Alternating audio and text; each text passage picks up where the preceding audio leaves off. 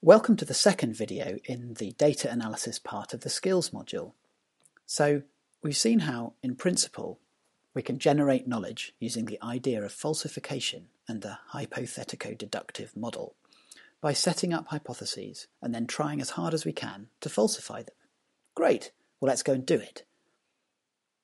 Uh, unfortunately, in the real world, when we actually try to generate knowledge using this method, we quickly run into two problems. First, individuals are variable. No two are alike. So, for example, we can't make the assumption that one person, or ten people, or even a thousand people are representative of all people. This wouldn't be a problem if we could examine every single individual on the planet. But it turns out we can't, and that's the second problem. Instead, we have to take a sample and that sample is pretty much certainly going to be different from the population in general.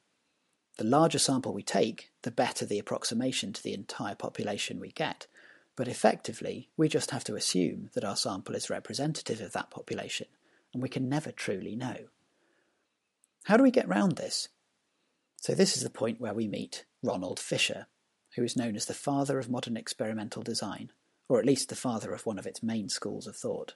You may meet some of the others later in your degree.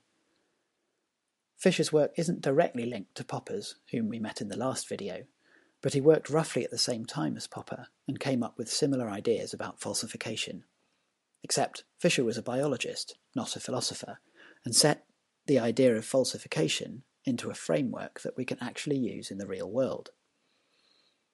If we want to really try and falsify an idea, said Fisher, what we really want to know is how well the data in the sample we observe fit with the idea we've proposed.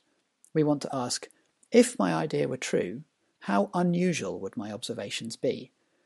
In other words, what we ideally want is a measure of the chances of getting the data we've got under the assumption that our idea is true.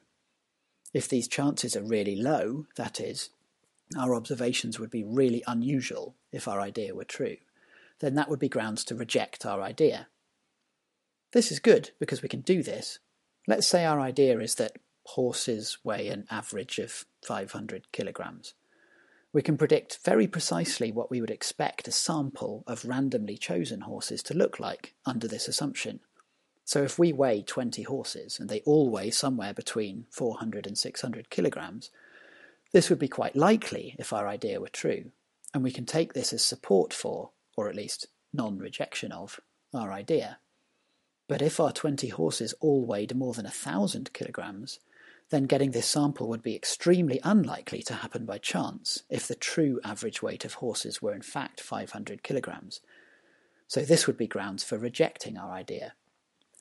Fisher proposed that we should reject a hypothesis when the data we observe are less than 5% likely under that hypothesis, we call this the threshold for significance, or p-value. This is a value you'll meet time and time again over the course of your training as a scientist, and it's really worth hammering into your head exactly what it means. It is the chances of getting the data when you assume the hypothesis you are testing to be true.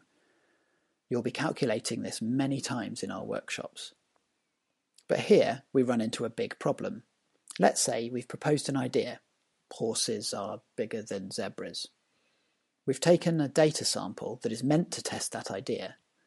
We've weighed 20 horses and 20 zebras. Now, it happens that in our sample there's quite a lot of overlap.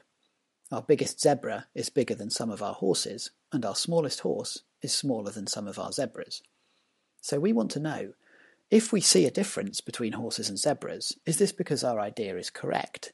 Or is it just because of random chance due to individual variability? Did we just happen to pick 20 huge horses and 20 tiny zebras, when in fact horses and zebras are on average the same size? The problem we run into is that the idea we've proposed, as we have stated it, is not really refutable. In order to falsify the idea that horses and zebras are a different size, you'd have to show the opposite, i.e., you'd have to show that the sizes of horses and zebras are not different, and any apparent differences you observe in your sample are down to random chance. This is almost impossible to show because individual variability makes it impossible to rule out the idea that horses and zebras are actually different. Even if the samples look roughly the same, because of variability, they're never going to be actually the same, and we can never completely rule out the idea that the average sizes of horses and zebras are really a tiny bit different. Fisher suggested we should instead the, test the negation of this hypothesis i.e., that horses are not bigger than zebras, and he called this the null hypothesis. This is important because falsifying the idea that two things are the same is easy. Just like before, we know exactly what the chances are of observing these exact weights of 20 horses and 20 zebras if in reality horses and zebra weights are the same. If this probability, or the p-value, turns out to be less than 5%, we reject our null hypothesis and we conclude that horses and zebras have different weights. Another good reason that null hypotheses appeal to many scientists is because science proceeds conservatively, always assuming that something interesting is not happening unless we can provide convincing evidence that suggests, at least for the moment, that something might be going on. Before computers, we had to look up this probability based on a huge set of tables that Fisher devised but now our computer will tell us in an instant. It is this that we will be doing in our workshops. The exact kind of statistical test we'll use will depend on what kind of question we're actually asking. For example, are we looking for trends or are we looking for differences? And also on the kind of data we've gathered, whether they're measurements or counts or something else. But the philosophy of testing the null hypothesis is exactly the same in each case, and that is why I've introduced it first before we dive into the different kinds of tests themselves. We'll meet these different kinds of tests in the next few videos and in our lectures.